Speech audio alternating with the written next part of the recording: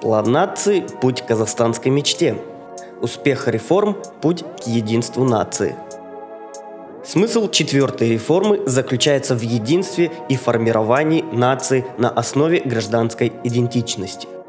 Для этого в Казахстане есть две основы – Ассамблея народа Казахстана и общенациональная идея Мәңгілік ел. Опыт стран Организации экономического сотрудничества и развития показывает, что идентичность и единство могут опираться только на конкретные факторы. Меритократию, то есть власть достойных, эффективную работу профессионального госаппарата, обеспечение верховенства закона, экономический рост, прозрачную работу подотчетного государства – целях создания институциональной основы для укрепления идентичности и единства народа разработан ряд документов. Внесены изменения и дополнения в законы об Ассамблее народа Казахстана, государственных символах, по вопросам культуры и историко-культурного наследия, туризма, деятельности неправительственных организаций.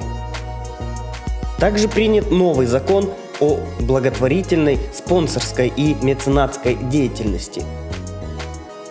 Разработаны три новые концепции – укрепление и развитие идентичности и единства, развитие Ассамблеи народа Казахстана до 2025 года, развитие физической культуры и спорта до 2025 года. Важные изменения внесены в концепцию культурной политики, государственную программу развития и функционирования языков. Кроме того, разработаны концепция развития туристической отрасли, дорожная карта развития трехязычного образования до 2020 года.